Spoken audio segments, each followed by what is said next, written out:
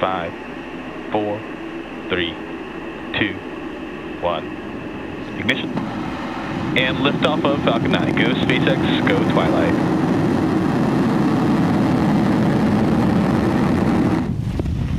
Vehicles pitching downrange. M1D, chamber pressure nominal.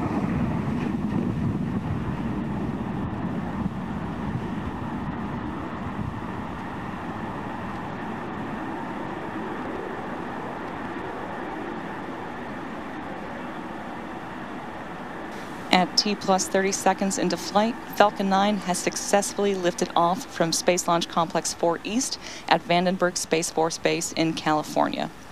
We're currently throttling down to prepare for max Q, the point of maximum aerodynamic stresses on the vehicle.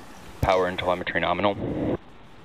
Max Q is reached when the air density of the atmosphere decreases faster Falcon than the, 9 is supersonic. than the increasing speed of the rocket.